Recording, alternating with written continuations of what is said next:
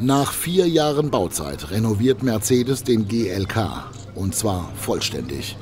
Das SUV erhält eine frische Optik mit mehr Rundungen und eine umfassende Überarbeitung an Motoren, Ausstattung und Technik.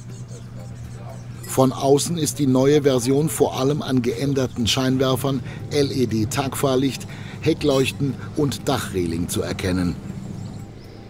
Statt eines Offroad-Pakets erhält jetzt jedes Modell eine verchromte Blende an der Frontschürze, die durch ihre Formgebung an einen Frontbügel erinnert. Das Motorenangebot ist weitgehend mit dem des Vorgängers und der aktuellen Mercedes C-Klasse identisch. Es gibt vier Diesel und einen Benziner mit Leistungen von 143 bis 306 PS und einen Mix von CDI und Bluetech-Modellen ähnlicher Leistung.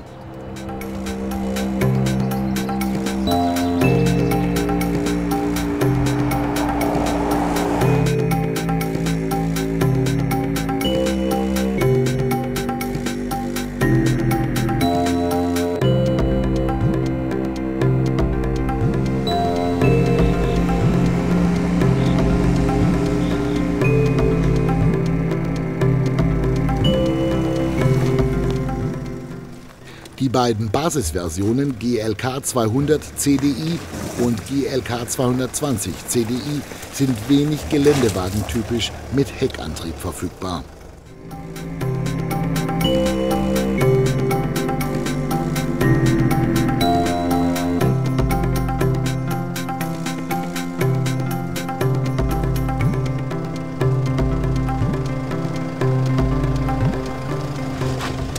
Ganz neu im äh, GLK haben wir den Steer Assist im Fahrzeug. Der Steer Assist unterstützt den Fahrer durch entsprechende Lenkmomentenvorgabe bei unterschiedlichen Reibwerten im Bremsen in die richtige Lenkung zu richten.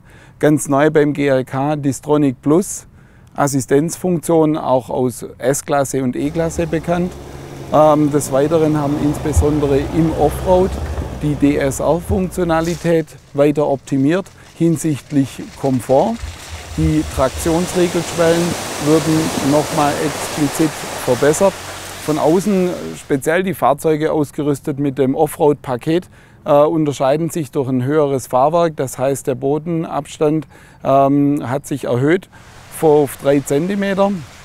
Als neue Assistenzfunktionen im GLK die Funktion Hold und Hill Start Assist.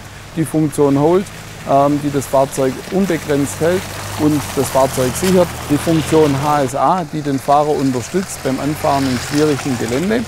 Entscheidend im Gelände ist eine ausreichend hohe Bodenfreiheit. Der GLK neuester Generation weist hier mit 3 cm ein zusätzliches Puls vor. Des Weiteren entscheidend sind entsprechende Offroad-Reifen, die montiert sind am Fahrzeug und ein entsprechender Unterfahrschutz am Fahrzeug vorhanden ist. Im Gelände gilt es besonders vorausschauend zu fahren, als oberste Regel die Geschwindigkeit den Verhältnissen anzupassen und sich im Vorfeld bereits ein Bild zu verschaffen, wie der entsprechende Streckenverlauf ist. Mittels der elektronischen Regelsysteme schafft dieser Wagen einfach den kompletten oder jegliches Parcours und ist somit mit großer Freude im Gelände zu bewegen.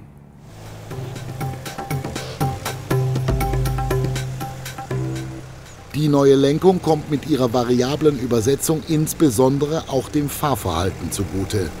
Der GLK wirkt deutlich agiler, während die reduzierte Lenkunterstützung den Geradeauslauf bei hohem Tempo beruhigt.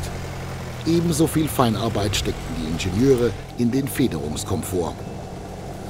Die Preise beginnen künftig bei 36.235 Euro für den GLK 200 CDI günstigste Allradversion kostet mindestens 42.142 Euro.